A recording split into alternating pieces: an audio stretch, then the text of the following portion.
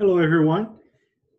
This is a lesson number three uh, of our um, operations management course here at King's University College at Western University in Canada. So uh, this is part of our uh, MOS 3330 operations management. And today's lesson is called process analysis. Uh, and uh, it refers mostly to chapter three uh, from Cachon's book in operations management.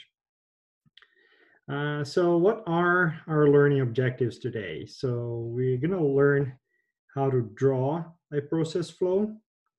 Very important, that's the very first step. Uh, then we're gonna determine capacity for a very simple one-step process. Then we're going to find out uh, flow rates, utilization, and cycle times, and why we need to know all those metrics with respect to any process. Um, and very importantly, uh, when we figure out multi-step processes, we need to find bottlenecks. Those are the steps in a process that um, constrain um, they constrain our operation, they limit uh, our ability to generate cash flow. Um, and if we go back to the idea uh, that we have the statement of earnings, where in the very top line, we have sales, this being our demand, and then immediately afterwards, we have COGS, this being in part our process and our inventory, finding bottlenecks are basically figuring out which one of these two are in fact limiting our operation, our ability to um, generate profits and, and cash flows. And then determine how long it takes to produce a certain order quantity. Uh, so um, in every class, I will uh, talk a little bit about these things, but let, let's always remember that if you can't measure, you can't manage. Uh, so today's lesson is will be very focused on the idea of measuring processes and be able to understand uh, their role in the overall process of your organization. Also, the process triangle of inventory, uh, capacity and variability. Understanding how those three things, they work combined. And if there's a mismatch between uh, your supply and your demand, uh, things are going to start to um, become a little less efficient. Inventory will become waste, variability will increase, and capacity will eventually um, become very constrained with very high utilization rates. And most importantly, the idea that if we are to be analyzing processes, that's with the intention of uh, improving our process, right? And continuous improvement is the key. There is always a cycle of continuous improvement. You plan, do, check, and act or you can work in DMAIC if you want to. But the idea is every time, every time that you analyze a process, you've got to question, question yourself and think, is there a better way of doing this? Okay. So moving on. want to hide this a little bit. Hide meeting controls. Okay, so how to draw a process flow diagram. So the idea is it creates a visual chart. It's a representation. It's a model of your process. Uh, we should be able to define each one of the steps, um, name them properly, figure out how much, um, how many resources we need, uh, within each one of these uh, processes. And later on, we're going to be seeing a little bit about working process inventory as well. And the idea is that process analysis is a framework to understand the details of the operation. in any kind of business, be it a um, be it a, a, service or a manufacturing, it doesn't matter. It's always about understanding that operation, the process behind uh, your business. So it can be used by anyone, and it will be uh, very much focused on finding out what the process capacity is, also known, you know, the number of flow units that can be processed per unit of time, and understanding the utilization of your uh, resources. Um, we don't want to have idle resources in our organization. It means um, perhaps you spent too much money building capacity. Perhaps you're spending too much money in wages. Um, you don't want excess idle capacity in your organization. You want to be able to match your demand uh, with your supply. So we need to figure out if the sta- stages in our process um, are matching what uh, the demand for our products and services are uh, and we can do that, uh, understanding the utilization of those resources. So the most basic way you can um, draw a process flow diagram is by using these three very simple uh, symbols. Triangles represent inventory. Uh, oftentimes we call this working process inventory. Um, arrows depict flows and boxes depict resources or work centers or workstations. Um, the idea is um, you understand how um, the units move within your process. And later on, we're going to be seeing a little bit more about the idea that the more the flow has variation.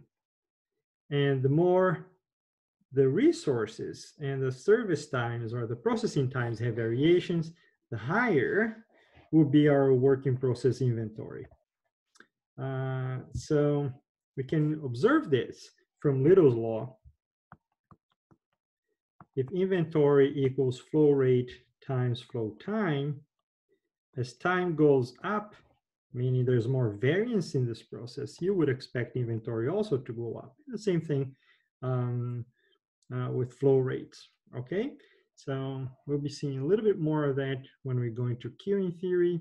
But for now, let's understand that whatever metrics we have, capacity we have, we're talking about averages. So by averages, I mean it is over time, it's relatively constant. The averages don't change, so we are in a steady state. So for example, this is first step. Uh, let's assemble a sandwich, fast food uh, sandwich, um, fast food chain. Uh, these are the steps required to assemble a sandwich. You might want to think about them uh, having one employee uh, assembling the entire sandwich or having uh, multiple employees assembling uh, only um, groups and steps of each one of those activities, right? So here in Canada, you could think, for example, um, sandwich assembly at Harvey's, where you have a single employee assembling your whole sandwich, uh, compare, for example, to uh, Subway or even uh, Mr. Sub, where you have uh, different steps uh, and different employees assembling different parts of your sandwich. Okay, so once you've listed all those activities, uh, you can put them in order. so you got to list activities. you got to create precedence between those activities, and then you can move on. So building a sandwich, how does that go? What would be a flow unit of building a sandwich? So you can think in terms of uh, sandwiches per day, but uh, you can also think in terms of customers. because ultimately, when you're observing the, the sandwich assembly um, process, you, you can see customers waiting, you can see customers moving around. Um, so uh, perhaps uh, you should think in terms of what it is that you want to capture within that, that process. Uh, and the key here is that customer in the sandwich assembly line is actually your inventory. So uh, they're waiting in line, they're waiting to be uh, processed to receive their meals. And um, that makes a lot of sense. And we will see later on that uh, those waits have to do with imbalances in the arrival patterns of demand and processing times in service. So a little bit of definition, upstream means in the beginning, the initial uh, assembly, and downstream uh, refers to uh, the end of the assembly. And those are all relative positions that you have to think about. Um, so when whatever, if you are within a stage an intermediary uh, stage. It, these are all relative positions, right? So if you're over here, upstream is everything that happened before uh, this one particular uh, process, and downstream anything that happens um, immediately uh, afterwards. And these things are relative to the position uh, of the of the process that you're in uh, right now. So, for example, this could be um, the sandwich uh, assembly uh, process with three stations. Uh, you have customers waiting in the beginning. So customers arrive over here. Uh, they wait for station one. You you're asked about your bread, what kind of protein you want and whatnot, and then uh, you move along into second station where there's all the, the deal with what you're going to do with your cheese and whatnot and, um, and salads. And then eventually you go into the cashier and you pay and then you leave. Okay. So there was, this will be a very basic uh, process flow diagram. There could be many, many, many others. So uh, this one example, you have three arrivals.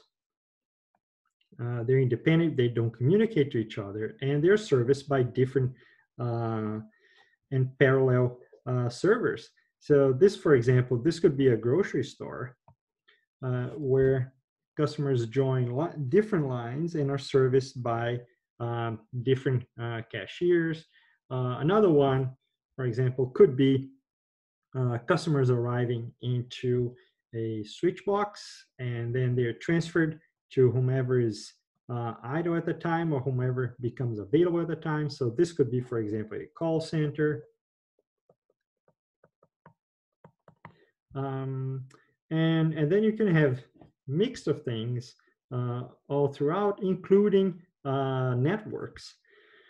So understanding the process, you, um, you want to draw diagrams in a way that they become flexible and you can um, decide on what areas of the process you want to study, right? Sometimes you want to focus on a particular uh, uh, place, a particular location in your inventory.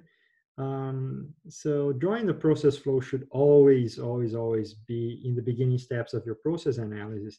It helps you understand what is going on. It helps you visualize what's happening um, in your operation there would always be many different processes to analyze, uh, and you have to be extra careful defining your flow units. Uh, ideally, you want to have a single flow unit all throughout your process, but sometimes um, you gotta you gotta be able to divide uh, into sub assemblies to make a little bit more sense uh, of your process. okay, so here's a very basic one, capacity for a one-step process. Um, you, you have a process time, processing time uh, for a single uh, process. There's a single step. Um, and we can always uh, think about this as a black box of some sort, right? Uh, so you can look at this from the perspective of a hospital. A patient goes into the hospital, is admitted, uh, and leaves the hospital. So the hospital is a single one, big one-step process, or you can uh, divide each one um, of the activities that were taken over there and locations where the patient uh, stayed and so forth. The same thing, for example, car assembly. Uh, you can think in terms of overall assembly as opposed to each one of the steps. Um, now, very, very important, very, very important. Uh, always think of these in terms of averages. Okay, we we want to work with averages and we understand averages, uh, particularly because as we introduce variation in the process, um, these will eventually lead to inventory. Uh, so I cannot stress this enough. Uh, as you increase variance in the system, inventory will go up. And we know this already because of the process triangle, right? Uh, so there you go, capacity for a one-step process. So let's build a sandwich and a single, um, a single server, a single employee is uh, gonna build your sandwich. Uh, so you can check each one of these steps is taken by a single individual, single employee. And overall, as you sum these up, you know it takes uh, 120, 120 seconds per customer, okay? Uh, this is what, this would be the processing time. So let's keep in mind, what if our demand is 40 units per hour? So what if my um, 40 customers arrive to this one particular store uh, per hour, and I have a processing time of 120 seconds per customer. So let's see what happens. so let's define the capacity. So the capacity of a process is the maximum number of flow units that can flow through a resource per unit of time. So very important capacity, capacity equals to one over P, okay? Uh, for a single server case, when we have multiple servers, um, we do this a little bit differently, but for now, that's all we know. So we, we know that it takes 120 seconds per customer. So if capacity is one over uh, processing time, this would take 1 over 120 customers per second, or 0.008333 customers per second. Um, this is done intentionally. What does 0.008333 represent? It doesn't represent anything, right? It's really hard to grasp uh, that measurement in terms of capacity. So perhaps what we could do is to think about this in a different uh, measurement of time. So why not uh, we think about this in terms of, for example, of uh, customers per minute. So how would I go about doing this? Well, you know, you multiply this by 60 seconds per minute. This divides with this guy. Then uh, what you get over here is 0.5 customers per minute, right? Uh, so half a customer per minute, that's still not a good measurement. So maybe you want to multiply this again by 60 minutes in one hour. Uh, so this cancels with this. So when you do that, you find that you have 30 customers per hour. That is your capacity.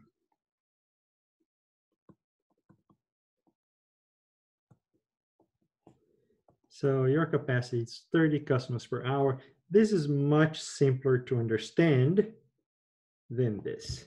So you always have to be careful about what kind of measurements you have in a way that you can understand reality, you can grasp reality in your mind. So the process capacity is the maximum flow rate a process can uh, provide per unit of time. So remember, flow rate per unit of time. So this determines the maximum supply of the process. So remember, we gotta match demand with supply. We, we have to be able to do these two things. So if we define our process capacity, we have one side um, of the uh, situation. Now we've got to figure out uh, what's going to happen with respect to, to demand. So the process capacity is always the smallest, smallest capacity of all resources in the process. So let me be clear when I'm, I'm talking about this. Uh, you cannot force things through uh, your process. Okay, so it's always the smallest capacity. It doesn't matter if there's a hundred units coming here per hour, uh, but my capacity is only 90 units per hour. Uh, what you will observe will not be a hundred at the end of this process over here at the exit. You're not going to be observing a hundred uh, units per hour. What you will be observing will be 90 units uh, per hour. So it's always the smallest capacity you have, even uh, if things are coming from processes upstream, okay? So the demand rate is the number of flow units that customers want. So this is your demand.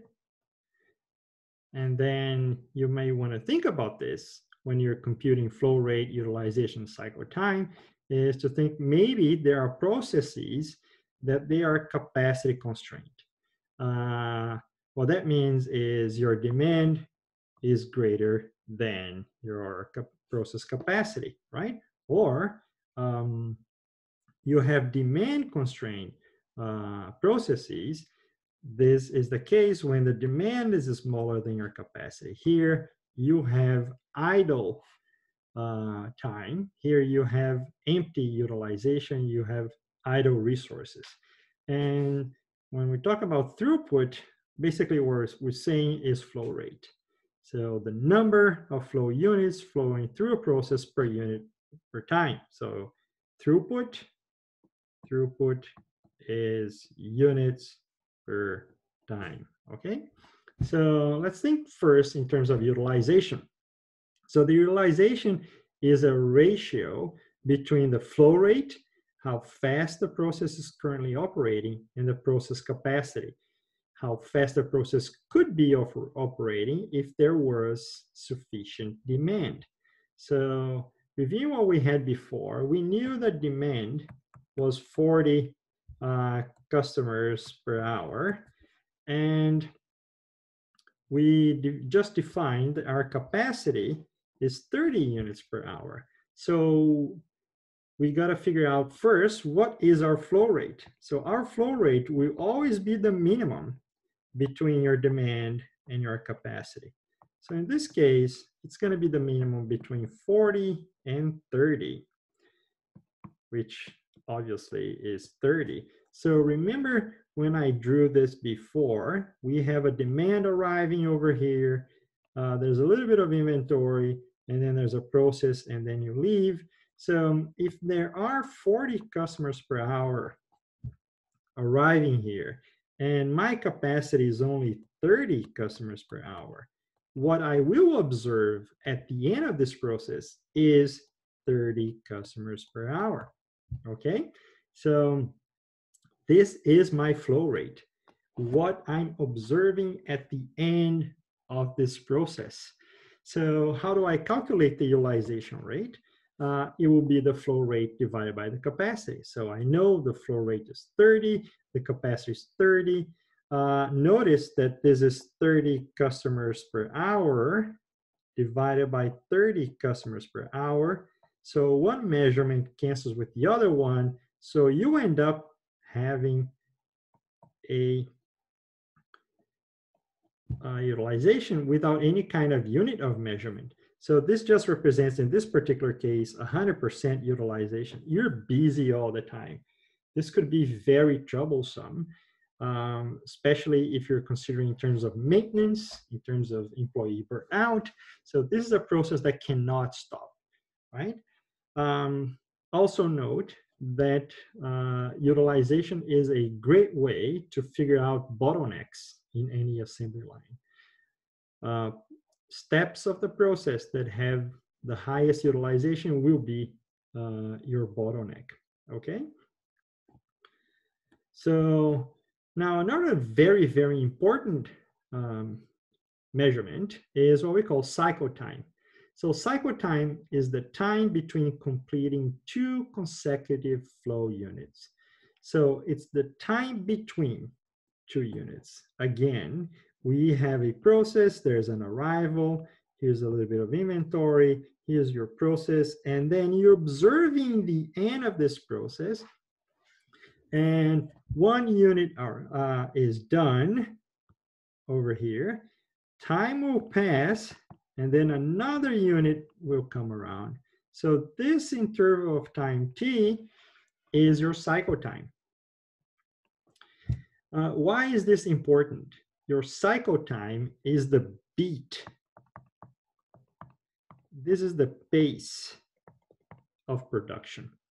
Okay, so um, if you know what your cycle time is as an operations manager, you basically um, know the um, the heart rate of your process.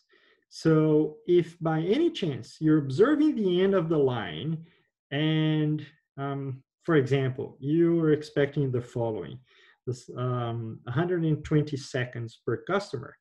So you observe one client leaving or one uh, unit finishing uh, assembly, 120 seconds later, another one, 120 seconds later, another one, and then 180 seconds, another one. So, so customer number one, customer number two, this took 120. Number three, another 120. From three to four took 180 seconds. Right now, you can go to your assembly line or you can go to your process and check what is wrong because you understand that the pace of production or the pace of service should be 120 seconds. Uh, this should be a red alert and you can intervene and you can make a decision right away. So very importantly, cycle time therefore is one divided by flow rate. Flow rate is measured in, in units per time. Cycle time is time per units. It's the in between, in between uh, customers leaving your process, customers leaving your your your shop, um, calls being finished in your call center, patients leaving the hospital, uh, cars leaving the assembly line. This is the pace. And uh, I would like to stress this a little bit because there is a interesting um, methodology in operations management called theory of constraints that talks about the beat, the drum in, in a process, the pace in a process. So um, cycle time relates to that. Um, and we can always talk a little bit more about that later on this is the pace, the interval of time between two consecutive uh, flow units leaving your process. So wait up. So what's cycle time and what's lead time? Cycle time is one over flow rate. So it's un it's expressed in units per time. Lead time is the time between when an order is placed and when it's received. So the process lead time, in other words, is your flow time. So remember from Little's law, inventory is your flow rate times your flow time. So this is lead time. Okay. And one over cycle time equals inventory. So these are two separate things. When your, your customer, when placing an order with you, may not be very interested in what your cycle time is, but uh, your customer will definitely be interested in when he or she will be receiving their order or when he or she will be done processing, right? So that is lead time. Cycle time is more of an internal operation measurement. Lead time is useful for delivering information for your client, for external, uh, for your partners in your supply chain, while cycle time is uh, interesting for you uh, as an operations manager to control the pace, the rhythm of your um, process or assembly line. All right, so how do we analyze a process that is a multi-step process? So instead of thinking of the sandwich assembly as a single employee assembling the, the entire sandwich by him or herself, uh, what if we had multiple steps? I look back into all those items that needed to be um, all those activities required to finish a sandwich, assembling a sandwich, and I'm going to divide that into chunks. Uh, and each chunk will correspond into a work center or a workstation. So in this one particular case, we have three employees. So this is a um, setup that is well known um, when assembling a, sandwich. Uh, each one of them will be serving each customer.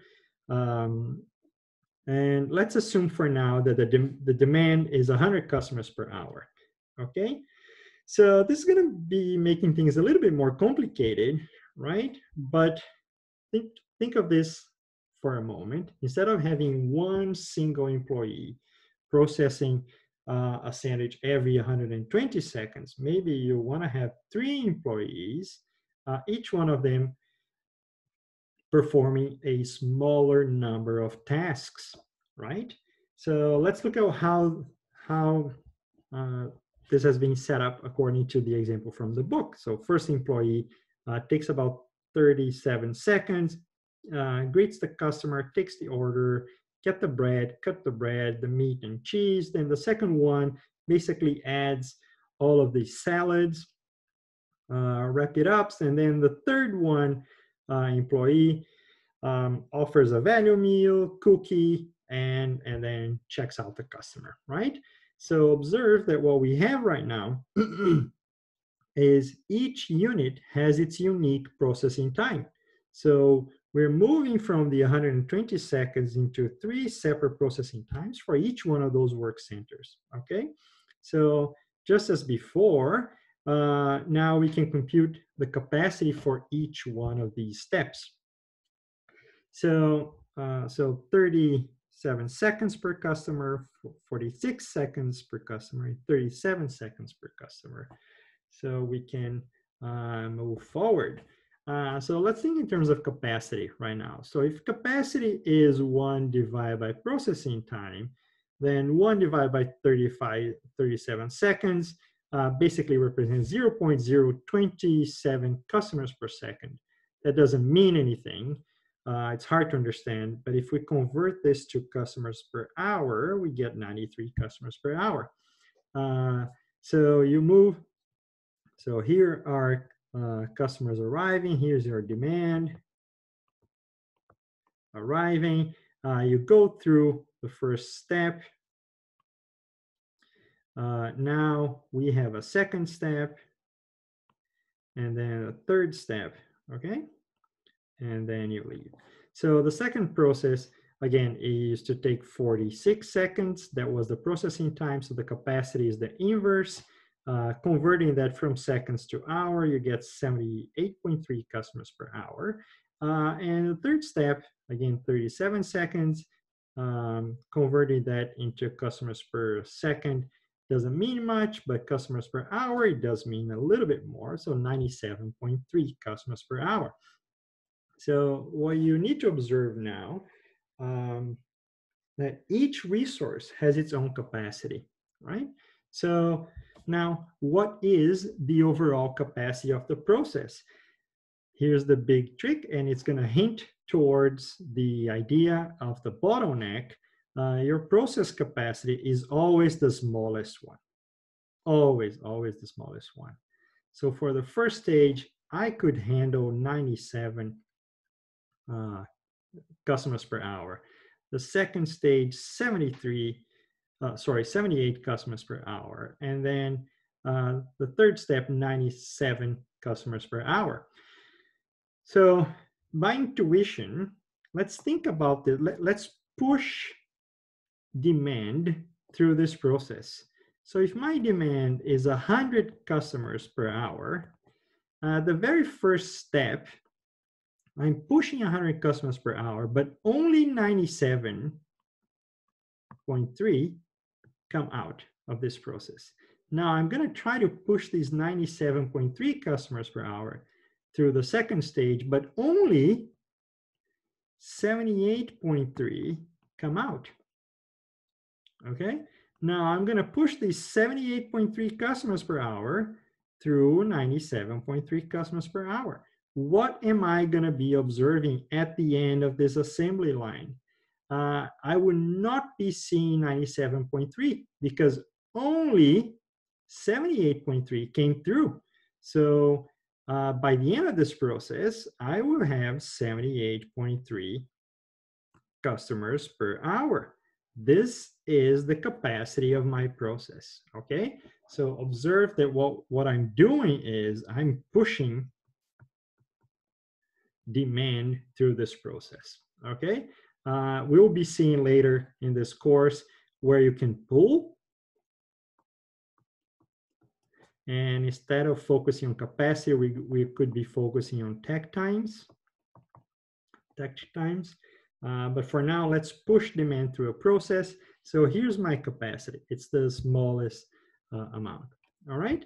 Now the bottleneck is the resource with the lowest capacity in a process.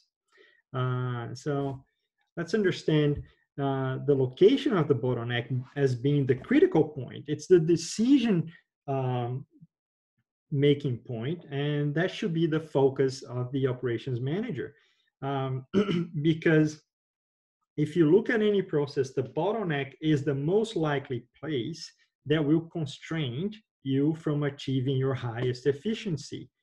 Everything else from this process will be somewhat idle. I could be working at a, at a rate of 97 customers per hour, but I'm only working at 78 customers per hour, right? So there is people are idle, resources are being idle.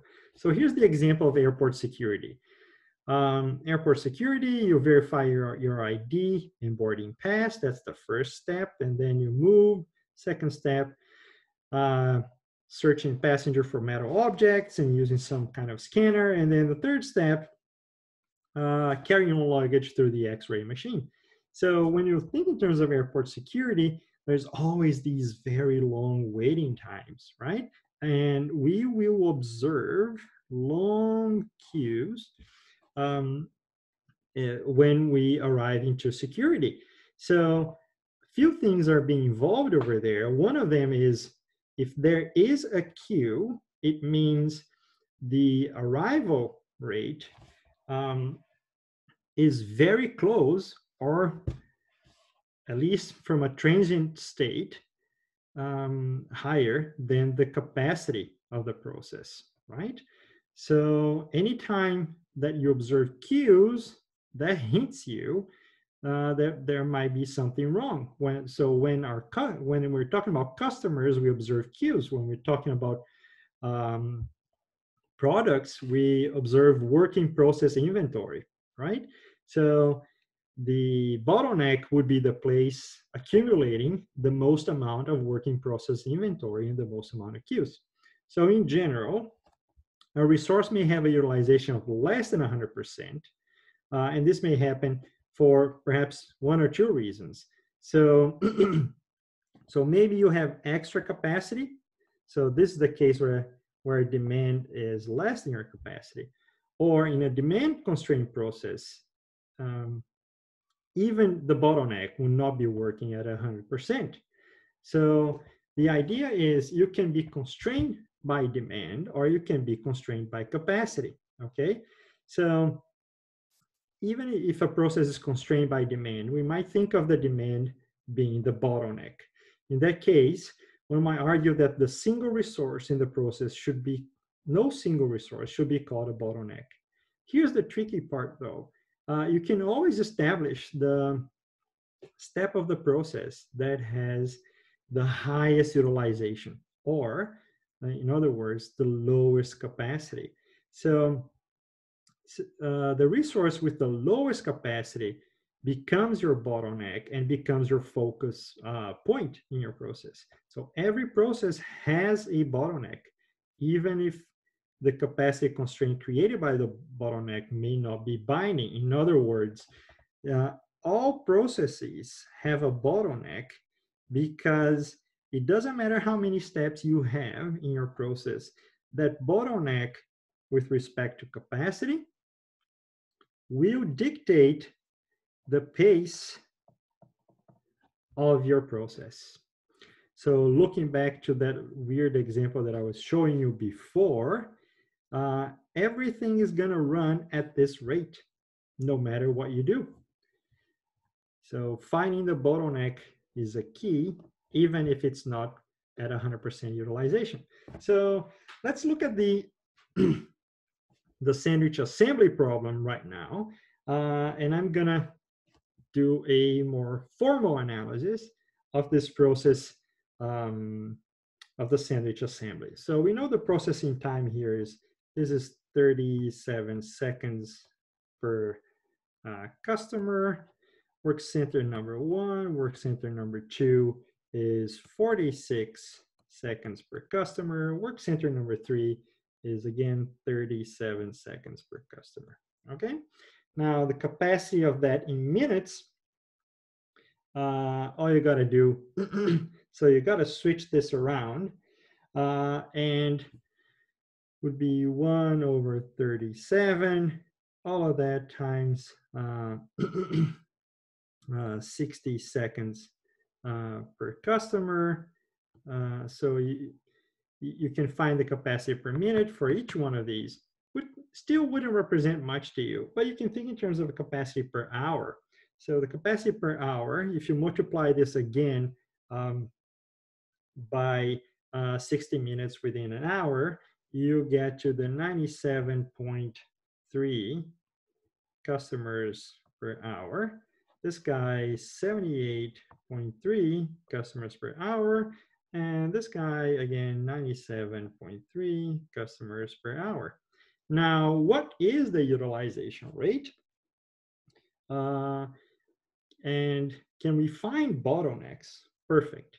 So first and foremost, observe demand and let's figure out what the capacity is. So what is the capacity of this process? We had established before that the capacity is the minimum capacity in the process. So like I said, uh, we're going to be trying to push 100 customers per hour in this process, but only 97.3 come through, only 78.5 come through. And even though your capacity here is 97.3, you're only going to be observing 78, uh, sorry, 78.3, 78.3 customers per minute leaving this assembly line. So this is eventually, this is your capacity, okay? So uh, let's think in terms of utilization rates. Uh, and in order for us to do this, I found out what this capacity is, 78.3. The demand is 100 uh, units. So I can figure out what my flow rate is. And the flow rate is the minimum between capacity and demand. So again, the minimum between 100, uh, the demand is 100 and the capacity is 78.3. So my flow rate is 78.3 customers per hour. All right. Now let's think in terms of utilization. So what are we going to do in terms of utilization? 78.3 divided by 97.3. So this is going to be equals to roughly 80.4%. So utilization is your uh, your flow rate divided by your capacity, okay? Now work center number two, this is 78.3 divided by 78.3. So this is a 100% utilization. And then next one, we already calculated before, 78.3 divided by 97.3.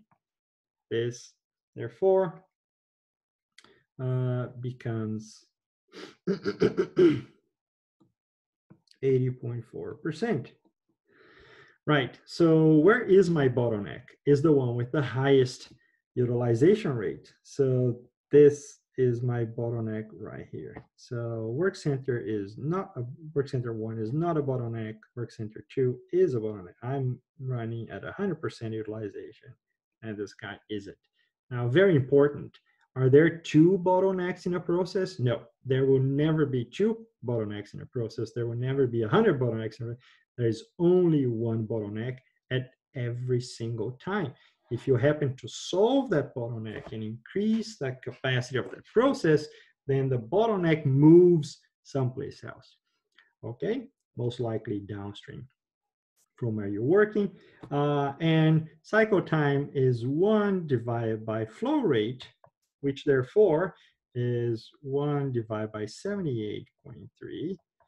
And this is a very weird value of 0 0.0127,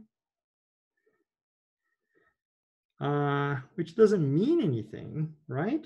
Because we're uh, hours per customer. So let's multiply this by 60. So let's figure out what this is in terms of uh, um, minute uh, hours per customer uh, and eventually, what we get in terms of cycle time is roughly about 46 uh, seconds per customer. So that's the interval of time that you're going to be observing in between uh, your uh, customers in the sandwich assembly line. Now, as I was saying before, if you are um, if, if you are the manager of this process, all you got to do is observe that interval of time. If every 46 seconds on average, you're observing a customer leaving the cashier with, with her meal, you know your assembly line is working well, your process is working well. If it starts to go up, then you know there's a problem in your process right? So um, this is a very, very important metric in a process because you can control and you can decide immediately, you can intervene immediately if you know what your cycle time is. So moving on, uh, now what if I want to look at this problem from a demand perspective and I say, okay, so how long does it take to uh, produce a certain amount of units, and um, you know, quantity uh, Q of units. So the formula is very simple. If you know what your cycle time is, so the time to make Q units is your cycle time times the number of units um, you are inquiring about. So in this one example, uh, uh, what if I need to uh, produce uh, 20 uh, sandwiches? So how long is this going to take? Well, it's this is going to take 12, um, sorry, 120 seconds per customer in the case of the single employee, seconds per customer times 20, uh, in this case, customers. So we can observe this is going to be 2,400 seconds or roughly uh, 40 minutes. And on the other hand, if we go into the three work center um, in tandem, like we had before in this one particular example. Uh, and my cycle time is 46 seconds per customer per unit, this guy over here. Uh, then the time to produce 20 units will therefore be 46 seconds uh, per customer times uh, those 20 uh, customers coming through. So this is going to be roughly 920 uh, seconds or um, something like about 15.3 minutes, right? So this is an interesting way of seeing things where um, by dividing the assembly in between three stages, I was able to deliver a lot more uh, product a lot faster, right? So here's the importance of what we call balancing the assembly line. Uh, this is a problem that we're going to be seeing in the next video, where is there a way that I can improve um, this performance even still? So um, as I hinted before, when you push things through, your worry is your cycle time. It's the pace of your assembly. But if you're pulling units through your system, you're going to be thinking in terms of takt time. Or in other words, you should worry about what is the pace of the demand. This is what matters, not the pace of your capacity. So you work your way around. If I know what my demand is, then I'm to work uh, backwards into my process and cycle this process in a way to match what my demand is. So uh, uh, line balancing is a very interesting problem we're going to be seeing the next uh, lesson. Uh, there's an algorithm to solve the uh, line balancing problem, and then there's also an optimization um, method to um, to balance a, a line uh, using you can use solver in Excel. It's a very interesting uh, problem indeed. So in summary, if you define the flow unit, uh, you can observe all the steps from your process uh, with the same uh, unit. Therefore, you can compare them and you can observe uh, their performance. You draw the process, so it helps you to visualize uh, your overall operation in your company. The cycle time is the beat of that process. It's the pace, it's the rhythm. So if you know what your cycle time is as a manager, you can observe cycle times and uh, right from the spot, you are able to define uh, if there's something going on uh, in your, or, you know, in your uh, operations. And the bottleneck is always the point of intervention. That is where you're going to be making decisions. If you find bottlenecks, you can perhaps uh, define and allocate more resources. You can allocate, so there could be resources, there could be technology, there could be employees. Anyway, you can make investments. It's always the bottleneck that will be your constraint in your process.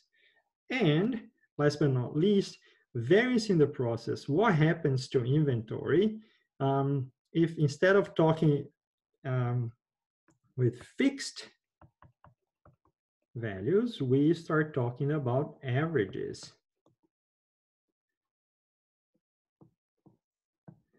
What if we add variance to the process? Remember the process triangle as you increase variability, you would be increasing uh, inventory. So a process that is balanced is all fine and good, but if there is variance within each one of those steps, you will observe higher inventory, you will observe working process inventory going up, and we don't want that to happen. And we will be able to analyze that with queuing theory and then later on with lean operations and Toyota production systems. So also line balancing will help reduce your cycle times as you divide all those activities into smaller chunks and therefore you can speed up your process that way. So thank you very much And if you have any questions, please let me know.